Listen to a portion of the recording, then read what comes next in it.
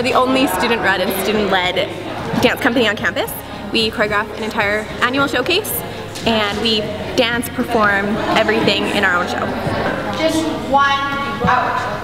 So one walk, second walk, swing, swing, swing, swing. We do a little bit of everything. We have mostly contemporary, jazz, hip hop, tap, ballet, anything you can imagine. Pretty much has someone in there that does it. Okay, so the six people that are still on. There's no teachers. We run it ourselves. We choreograph it ourselves. And so the dancers are really involved in every aspect of the company and the show. I'll come off on this side. Or okay, so you three are gonna have to do a runaround to go to the get to the other side, but you'll have to be pretty quick. Um, So I can don't you think I just do really that? said it Um, now. when you run it this time, can you just run around so I make sure you at least get there?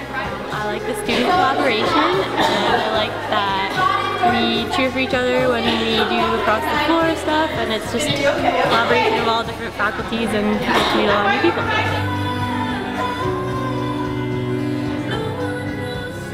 Everyone who wants to keep dancing but didn't move on professionally come to Mod. So. Right? Perfect.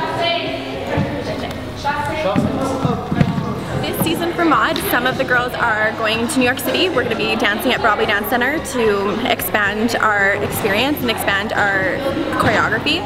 We are also going to be putting on an even bigger show. This is the biggest company we've ever had with the most choreographers. So we're going to put on an even bigger show and hopefully sell it out.